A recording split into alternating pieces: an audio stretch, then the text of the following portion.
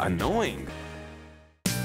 सलमान जितने हँसी मज़ाक के लिए जाने जाते हैं उतने ही अपने अनोइंग एटीट्यूड के लिए भी है मशहूर। कई बार मीडिया के सवालों पर सलमान की अनोइंग साइड आई है सबके सामने।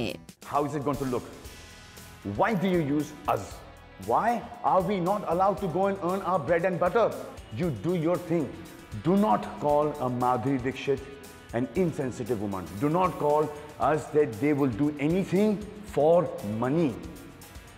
Because that money that I've made there, I've left it there for those people and come back.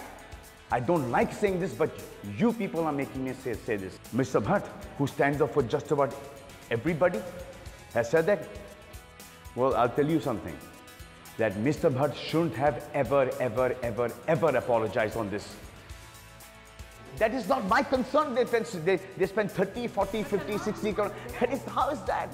I was there, I'm getting paid. Tomorrow somebody else is going to call me and he's going to get an income tax rate where he's got the money from. My money is coming by check.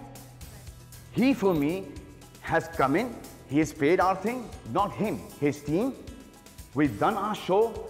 I saw some stuff that I want to do. I want to do in Nagpur. Wherever I go, I plan that I am going to take care of minimum 100 small kids, pediatric uh, heart patients, which I am doing.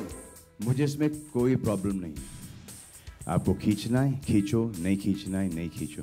लेकिन बदतमीजी मत किया करो। तस्वीरें दूर से बहुत अच्छी निकलती हैं। एक प्रियंका चोपड़ा और सलमान खान की तस्वीर निकली थी। दूर से निकली थी। अच्छी तस्वीर थी। इतने पास आने की ज़रूरत नहीं समझा?